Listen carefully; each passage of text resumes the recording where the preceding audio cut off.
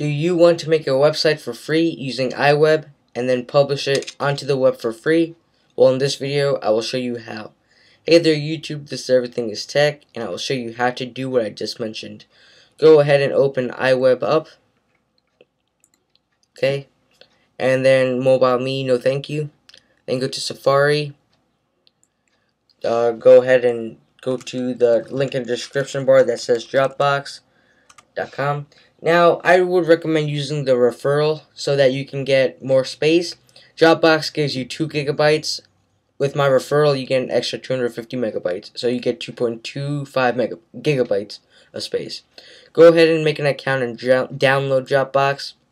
Once you download it, make sure you have an icon like this over here. If you do not, go to Spotlight, search in Dropbox, and go to Top Hit or Applications open that up and you should have this icon over here. Once you do have that go to iWeb open that up test lol whatever your name whatever your blank uh, website is. If you do not have one go to make a new site choose anything. Um, I will delete that delete that delete that. Okay that's it. Then go to site over here. Go to site.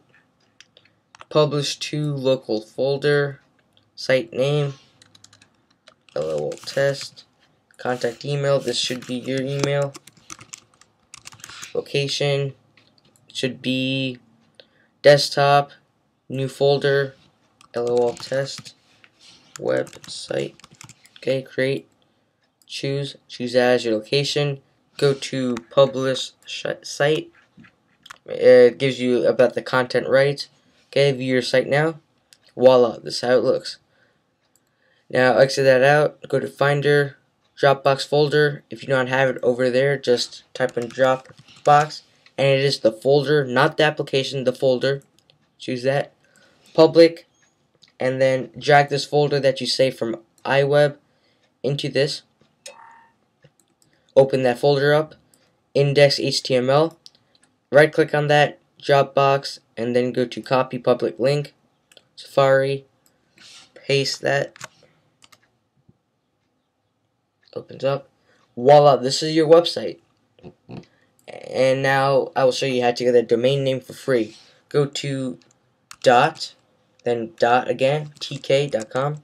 But we'll just tk, don't know, .com. The link's in the description bar. Okay, then it's this website. Go and go ahead and paste that long address and click next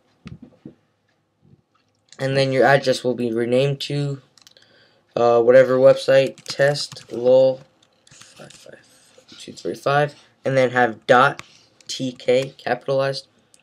And then type in this f v a t i z and then c. And then I would recommend using registered free domain. You just have to put in your email address and that's anything else. And anonymous is free both of them are free this just has less features. I'm just going to show you this so it's it doesn't take that long. Let's go ahead and confirm.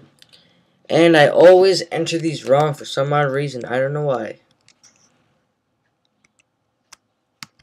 T I Z C. Uh, hopefully I get this right this time. Okay, finally I got that right. Your registration has succeeded. This is your name, your website name. Go ahead and click on that. Voila, this is your website with a small domain name. All you have to do to make anyone view this is copy that and just paste it anywhere. Oh, and thank you for watching. Don't forget to rate, comment, and subscribe.